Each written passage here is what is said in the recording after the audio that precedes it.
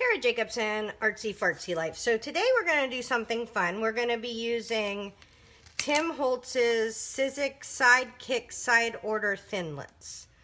And um, this is a real chicken and the egg kind of situation. I couldn't figure out what order to show you how to do these. Um, these are just stuff on my, my desktop. So, and these are from a different set. So let's get, let's get just the thinlits out here. And I was working on making some little fun tabs for my um, book. And I wanted some different colors and some different, just a little pop of color. Like all my tabs, my big tabs, have um, color on them while the background is kind of, I'll show you the background of a page.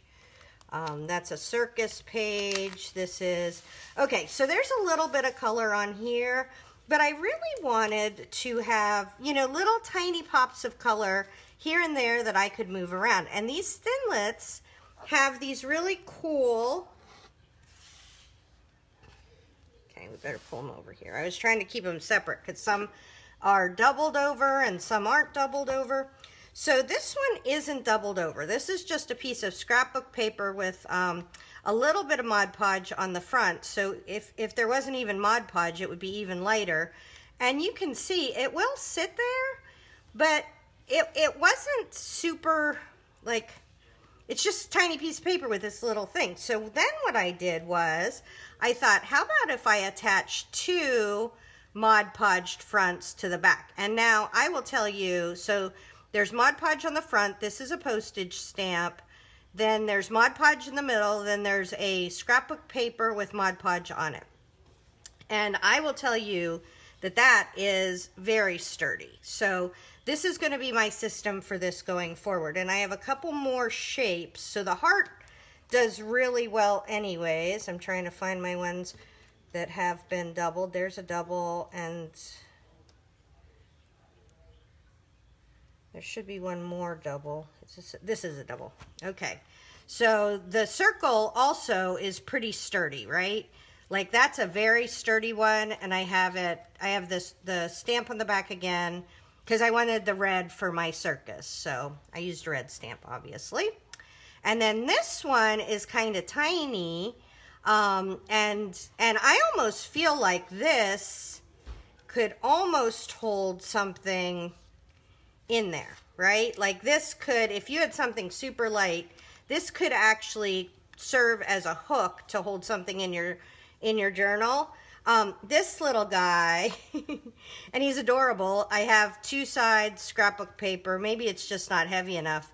But I feel like he's a little pop of color. He is not going to hold nothing. He is very light and not going to do anything. So those are the ones that are doubled over.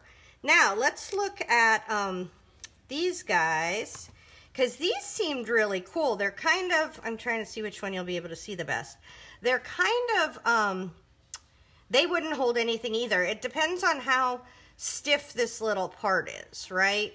And the thinking, I think, is maybe you could put it this way, okay? And then hold something underneath it. And I'll tell you, with one layer of, um, one layer of scrapbook paper, you are never, it's not going to hold like that. I mean, like this is so delicate, um, very delicate. But I have two of them. This one is uh, uh, old-fashioned magazine paper on that I glued to a book page.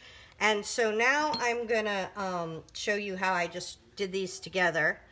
I mean, it's not anything exciting, but I have them. I have all the stuff out, so I figured I'd show you. Okay. And so I really am using Mod Podge and getting it on that little flap. And then you're going to hook these together. And I like the Mod Podge because I can, I have a little bit of, of time to spooge it around. Uh-oh.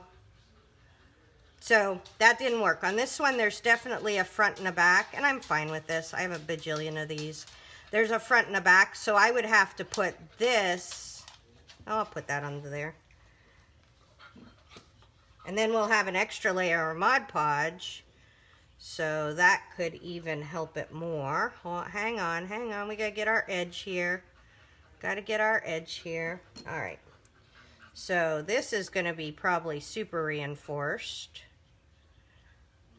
because we have magazine paper, we have book paper, we have scrapbook paper, and then we have three layers of Mod Podge. So we're to just let that guy dry here for a second. All right. So this is this is how I do the scrapbook paper, and it's so funny because this is the top of a meringue cake that has a little bit of pink on it, and so and then this is a like a, a, a ice cream cone. But all I'm really looking for is kind of this pink, um, this pink area or the brown area. It was on the inside of that one. So let's go back and see how to how to cut these little tabs out. And to do this, you're going to use your sidekick. So we're going to get my junk journal off here. And um, I'm going to have another video about a bajillion ways to make tabs because I'm obsessed with tabs right now. But I saw this and it was so cheap. I think this little die set um, was like, I don't know, I'm thinking $7. And what it looks like are these. So they're the little dies for the little Sizzix sidekick. And um, I've heard so many people talk about this sidekick and how they like their big shot better. And I have a big shot. And I, I love my big shot, right? But my big shot is huge. So it would take this whole area. I'm cranking. I might be doing a million things at once. And my little work area, honestly, is slightly bigger than this. And so there's, I, I have it in a different room. I would have to go do it.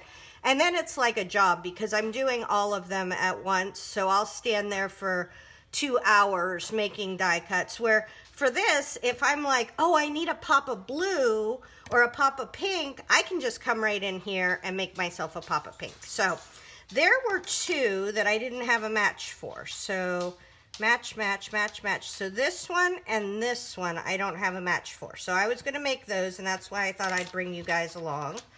So there's going to be a pink one. So I, I have a pink and brown already. So that one's going to be the same on both sides. You know what? I'm actually going to go get a little piece of scrapbook paper because I don't want it to be the same same color on both sides. I want it I, I want it to be um, two-sided so that I can put different things on it. So I'm going to make this little part um, blue gingham very sweet. And then I'm going to make this part, which will have to go this way. But we have this whole, I mean, I think when I saw the sidekick, I thought, oh my gosh, I'm going to have just this tiny little bit of area to use. But honestly, it's it's really quite quite easy to do lots of things with it. Okay. And then I need another one to go with this.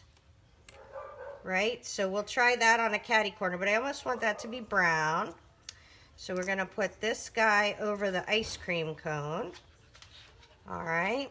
And then we're going to do a heart, which will make it mismatched. Then I have to make another heart. This is why I wind up making so many because um, I, uh, I make these, like, I'm going to run this through with these papers. I might as well run it through full, right?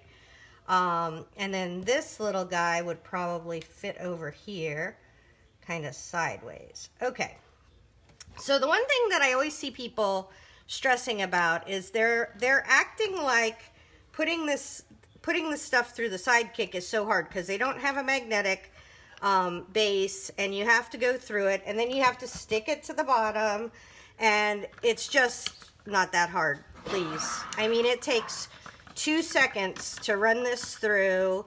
As you're doing work literally I can have this done um, stick it to the base. And this is just a, um, oops, we had a little glitch there. If you couldn't tell, my, uh, my house is kind of crazy. I have two kids home for the summer and I have three dogs. That heavy breathing you hear is my one dog, my old dog. So anyways, I was, I had to come back in and match this up. And when I noticed the, uh, video had stopped, I thought I would show you this. So we're going to do this again. This may be a tiny little 30 second repeat. Like I said, it takes a second to use the sidekick. And I have Another thing about this is people seem to get hung up, and I know Tim Holtz does. He has like a side he uses on his plates and a side he doesn't. I, I, I don't. I don't have a side. I just use whatever kind of happens to come up, and then I put the plates right inside, keep them safe.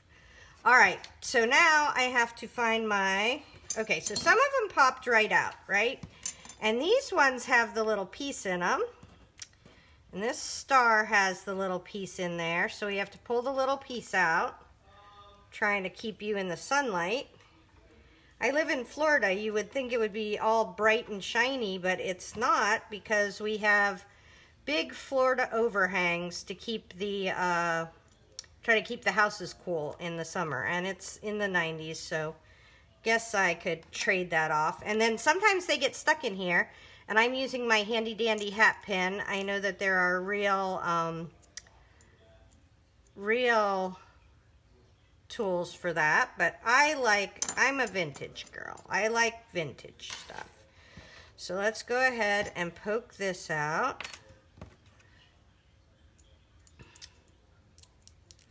and I had finished this whole video and then I realized I forgot to show you the one that we had done together so I'm excited to show that to you. Um, I'm just going to glue one of these together. I can't remember which order I did this in so I know we glued that one together but all you're going to do is just take all these guys and what I've found is if you match the bottom parts first, it makes it a lot easier, right? So the bottom parts are pretty matched up. And then I just smush them, and I have Mod Podge all over my hands. My daughter's funny. She loves when I um, make her, I keep my Mod Podge in a little mason jar, and uh, she loves when I tell her it's time to clean the Mod Podge jar. So anyway, so you get the idea of how to Mod Podge. I'll finish those up when, when we're done. And now I just wanted to show you the piece de resistance, that floppy old one that wasn't doing anything before that we doubled over. Um, and because it's Mod Podge, of course, Mod Podge is amazing. Um, if we put this in here now with the two, do I even have, oh, I have a little piece of fabric. Let's put a little piece of fabric in there. Now, look at that. Now he can hold it because he's been doubled over. Um, I feel like anytime this back part is very flimsy, I think it's the part that you should put in the back, even though this one would look super cute because it almost has a little, um, I think it's supposed to look like a thought bubble or something. But for these ones, and plus there's so much room, I'm almost thinking I'm going to put a grommet in there. Maybe put a grommet in there. Oh, it's getting bigger. I'm going to put a grommet in there and put hang a little bead on there and see how that looks. So I'm sure you'll see that in my journal walkthrough. But for now, as you can see, these little these little tabs are amazing. I I just love them. I think, um, you know, when we're looking at the colors. Oh, there's my I had lost my elephant. Um, but when you're looking at the colors of, of your stuff and wanting just a little, you know, say I want a little tab on the side or I want a little tab on my, um, I'm going to have doors for my elephant, then that would be the perfect little pop of red and uh, just add another, another layer, another vintage touch. So hopefully that helps, Tara Jacobson, Artsy Fartsy Life.